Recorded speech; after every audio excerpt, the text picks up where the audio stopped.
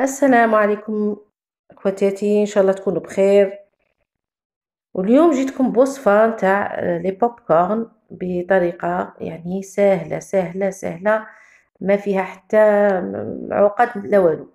donc أول شيء قد بحاجة كسرونة تكون عندك قديمة ولا طاجين يكون عندك قديم ويكون شوية ثقيل وديري فيه.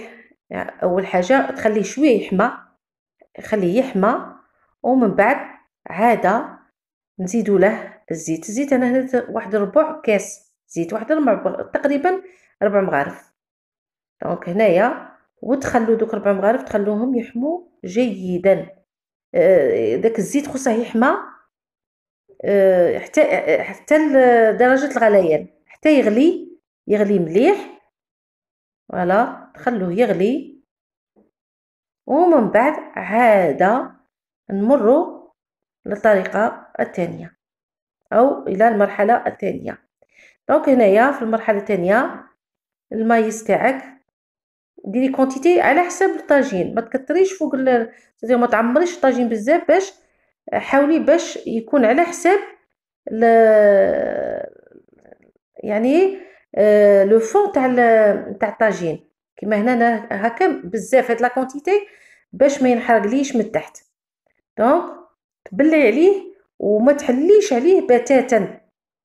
donc تغلقي عليه. أنا درت هنايا ما درتش تاع الكسرونه درت تاع الزاج باش نشوف.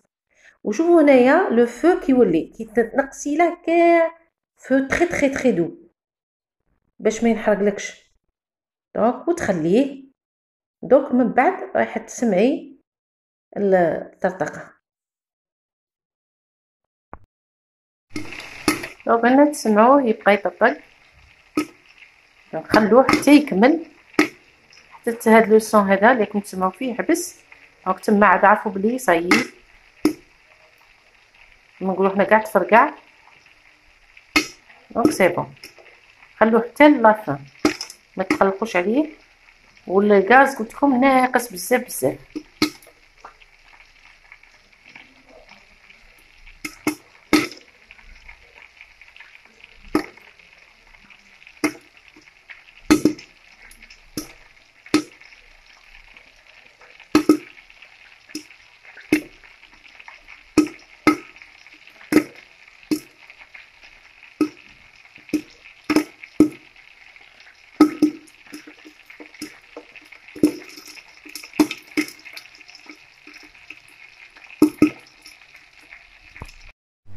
donc دائما هنا يبدأ شوية ينقص داك ديك الطرطقه donc ça veut dire ما باقيلاش بزاف وطفوا عليه.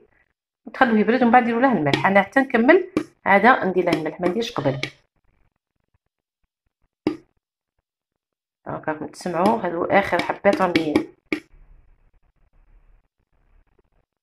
وما تخلوش حتى ينحرق لكم.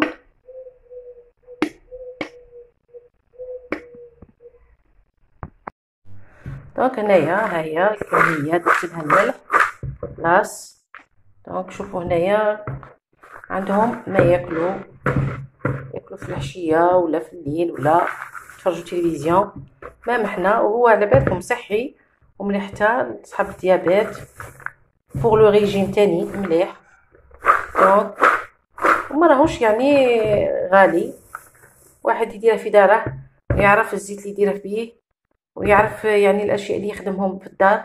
أحسن من يروح يشري هذاك اصابع كي داير كيفاش راهم يخدموا؟